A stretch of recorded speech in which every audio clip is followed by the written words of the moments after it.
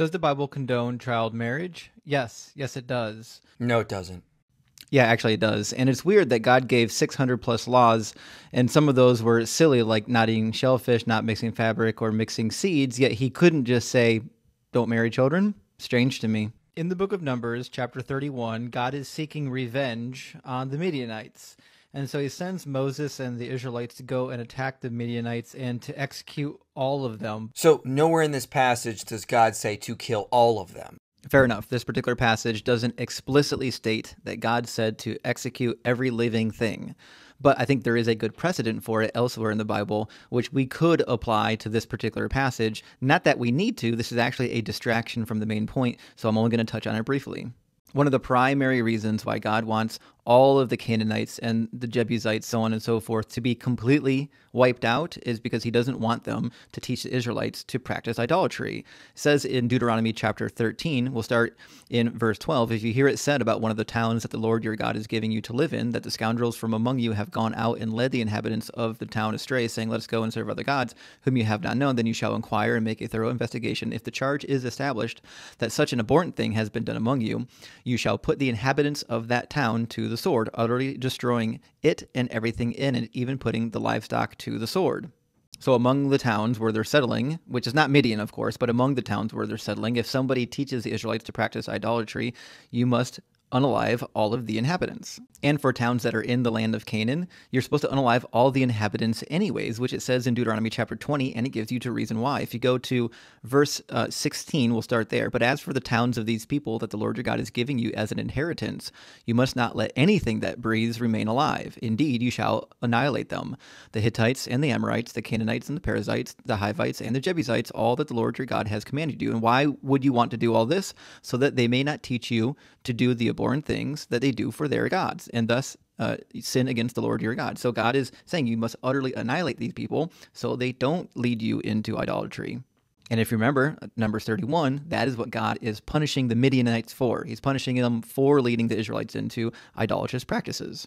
We also have a really clear precedent in uh, 1 Samuel 15:3 of God avenging the Israelites against a particular city, that's uh, the Amalekites, and they didn't even fall into idolatrous practices. God is just mad at the city, and he says, uh, Samuel said to Saul, The Lord sent me to anoint you king over his people Israel. Now therefore listen to the words of the Lord. Thus saith the Lord of hosts I will punish the Amalekites for what they did in opposing the Israelites when they came up out of Egypt. Now go and attack Amalek and utterly destroy all that they have. Do not spare them, but unalive both man and woman, child and infant, ox and sheep, camel and donkey. So we've got very clear precedents when God wants to avenge himself or the Israelites against a particular people group. It's very common for him to say, unalive all of them, every living thing. I also just think it's unrealistic that Moses would be upset with the Israelites for not executing the women unless God had set that expectation for him. It actually doesn't make sense to me that Moses would be more bloodthirsty than the God of the Bible because elsewhere in the Bible we find humans being much more humanitarian towards others than the God of the Bible. The God of the Bible is usually the bloodthirsty one. And so Moses explicitly tells them these young little virgin girls, you can keep them alive for yourself. But all the little boys, execute them. All the women who aren't virgins, execute them. So this is immoral, but it should be noted God never approves of this. And finally, this is the meat and potatoes of our discussion whether or not something immoral was going on. And you must be referring to the little virgin girls being taken as plunder and war brides, not the little boys being executed, because little boys are commanded to be executed in war all the time. This, in fact, God does it himself sometimes. So this is not a problem. But was God involved in this decision? Can we blame just Moses for this? No. Verse 25 explicitly says that God has blame too. Let's read it. In verse 25, it says, The Lord spoke to Moses, saying, You and Eleazar the priest and the heads of the ancestral houses of the congregation make an inventory of the plunder captured, both human and animal. Divide the plunder into two parts between the warriors who went out to battle and all the congregation. So God is saying, All these little virgin girls that you kept, go ahead and divide them among the warriors, just like Moses said prior. So God spoke into the situation here. He could have said, "Hey, adopt these little children as your uh, as your own household members." He could have said, "Give them all to the the service of the Lord." He could have said, uh, uh, unalive all of them like you did the little boy. But he didn't say any of those things. He said divide them among the warriors. But it's actually the most practical thing to do here if you're not going to execute them. Let me explain why this whole divide them among the people for war brides actually happened. Because if you keep reading, there were a ton of them. It says the plunder remaining from the spoils that the troops had taken totaled 675,000 sheep, 72,000 oxen, 61,000 donkeys, and 32,000 persons in all, women who had not known a man by sleeping with them. So there were quite literally 32,000 little virgin girls. So they either had to execute them or do something else with them. And obviously, both Moses and God said, Well, I guess we're just going to make them our war brides. And by the way, I do appreciate that we're not having a discussion here about what happened to these little girls, because half of these apologetic discussions are people claiming that they didn't get turned into war brides, but they most certainly did. These were not children that Moses had adopted. In fact, if that were true, they wouldn't have been divided among the warriors, they would have been divided among the families, most specifically among the women of Israel, not among the warriors. The Bible often narrates the sins of the patriarchs without telling us that it was sinful in God's eyes. For example, Noah was never condemned for his drunkenness.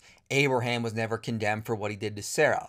Lot was never condemned for what he did to his daughters. Judah was never condemned for his actions with Tamar. And likewise, Moses was also immoral and did sinful things. Well, I think it's a bit of a red herring to insist that just because some of God's chosen people in the Bible did things that were unsavory and God let it pass, that this is one of those occasions. That's yet to be seen because, as we just read, God was involved. In fact, he weighed in and he was in the mix, and his judgment as to what should be done seemed to be in line with what Moses wanted to do. God had every opportunity to change the course of paths, and he didn't. He decided to continue on that course. But it's also weird that God does punish people in the Bible, sometimes harshly for even minor infractions. For example, Onan's brother, we don't even know why God took Onan. And Onan himself was executed by God for merely not fulfilling his levirate duties. And what about the guy who was carrying the Ark of the Covenant in transport and, and fell over, lost his balance, touched it, and God executed him? What about uh, Nadab and Abihu, who were executed uh, by God for entering drunk into the Holy of Holies? Uh, what about also the man in the book of Numbers who was picking up sticks on the Sabbath, didn't even know he was breaking the Sabbath, most likely. That's why they had to take him to Moses, and Moses had to inquire of the Lord, and God said, Go ahead and execute the guy. God is perfectly okay with giving harsh, harsh penalties against people for even minor infractions. Yet here, when Moses does something completely terrible, taking 32,000 little girls and marrying them off as war brides, God's like, eh, go ahead, get her done. But it says that God waited a period after puberty before she was ready for lovemaking. From this example, we can see that God suggests lovemaking should only occur after puberty, not before or during.